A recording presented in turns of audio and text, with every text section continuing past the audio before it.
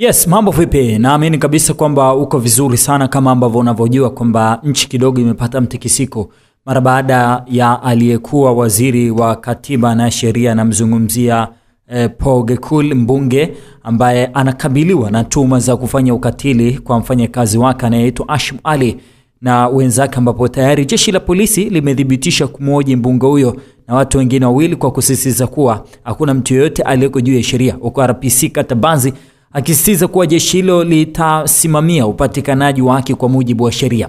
Sasa kulikuwepo na misukumo mingi, kila mmoja akiwa anazungumza jambo lake, na niliona baadhi ya maoni ya watu mbalimbali ambao wapo katika ugao wa kisiasa wakijaribu kushinikiza kwamba serikali ingefanya jambo moja ama jingine zaidi ya kumtengua Paul Gekul, na miongoni eh, Pauline Gekul ma, ma, miongoni mwa vitu ambavyo vilikuwa vinazungumziwa eh, kwa kiasi kikubwa zaidi ni Chama cha Mapinduzi kumfuta wanachama huyu uh, huyu mbunge Gekul. Sasa taarifa nilionea ni kwamba katibu wa halmashauri kuu ya CCM taifa itikadi na uenezi Paul Makonda amesema kuhusu tuma za mbunge wa Babati mjini eh, mkoani Manyara Pauline Gekul.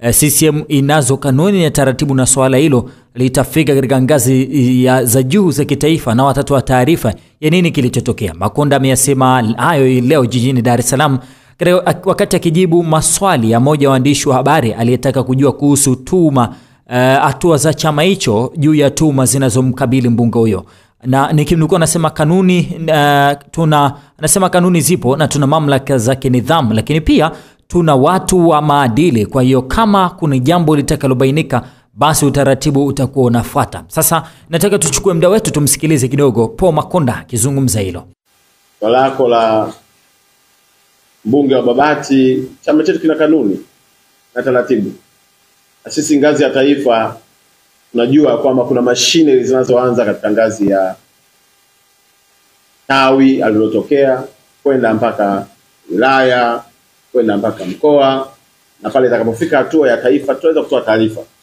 ya kwamba nafasi nini kimetokea, lakini kanuni zipo, tuna timu na mamlaka za nidhamu, lakini pia tuna watu wa maadili kwa kama kuna jambo litakalobainika basi taratibu zitafuata zitapata mkondo wake.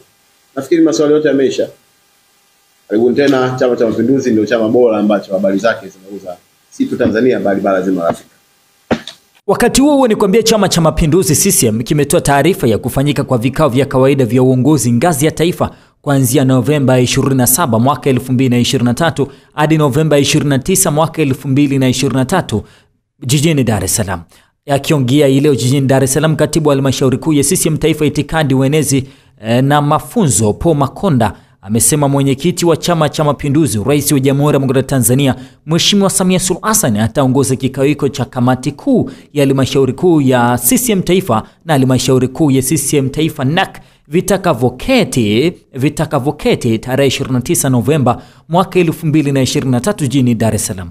Vikao hivyo vitatanguliwa na sekretari ya halmashauri kuu ya CCM taifa itakayoketi Novemba 27 ambayo maanake imeketi kuanzia leo, ikifuatiwa na mafunzo ya semina kwa wajumbe wa halmashauri kuu ya CCM taifa tarehe 28 Novemba mwaka 2023. Mimi naitwa Almachus Bonifas Kanyasa, endelea kutufuatilia. Usisahau kusubscribe, kucomment, kulike na kushare ili wa kwanza kuzipata hizi taarifa.